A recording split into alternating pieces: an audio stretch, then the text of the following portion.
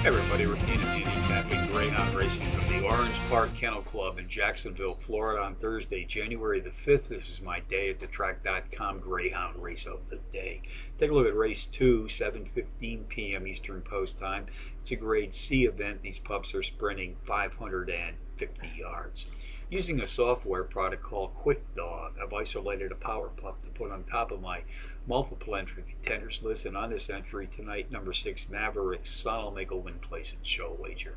They also like to play the boxed exotics, the box gimmicks here at Orange Park. So along with number six will be boxing number one, Pat C. Uncle Mike, number five, LK's Glenda Girl, and number seven, GS Charming.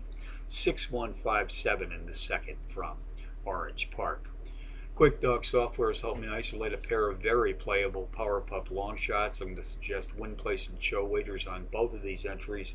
The first comes at race three, win place and show on a four to one shot. Number two, WW's Jack Straw. And in race eight, win place and show on a six to one shot. Number five, Patsy hashtag. So handicapping from Orange Park on a Thursday. Rick Needham for day at the track.com, reminding you as always to please bet with your head not over